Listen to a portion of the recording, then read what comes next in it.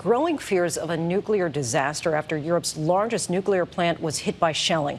The finger pointing and frustrations are intensifying as each side blames the other for the strikes. ABC's Britt Clennett reports from Ukraine tonight.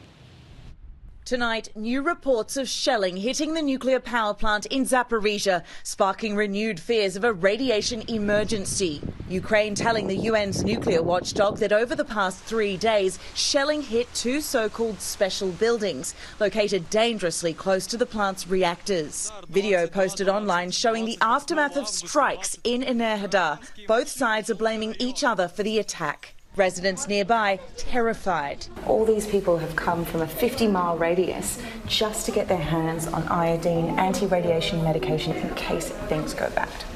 Doctors here telling me there's high demand for the pills in this area. We received a few thousand of those pills, and within a week we had almost none.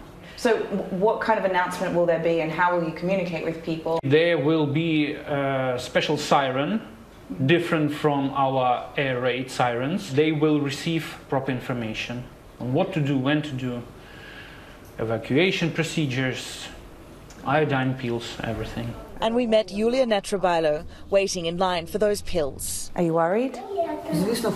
I'm worried and scared, Yulia says, adding she has a child and her husband is away fighting in the war. The fighting raging on. The State Department now confirming another US citizen has been killed while fighting for the Ukrainians. That American has not been identified. And tonight, President Zelensky suggesting Ukraine is about to step up its counteroffensive, saying the Russians will feel its consequences. This evacuation centre in Zaporizhzhia is about 35 miles from that plant. And Lindsay, we are speaking to so many people who are physically and emotionally drained, exhausted, traumatised, and who desperately needed to escape because of the intense fighting there and, of course, the nuclear threat. It's now looking like UN inspectors may visit the plant in a matter of days. But for the evacuees here, that inspection can't come soon enough. Lindsay? A lot of anxiety, Britt. Thank you.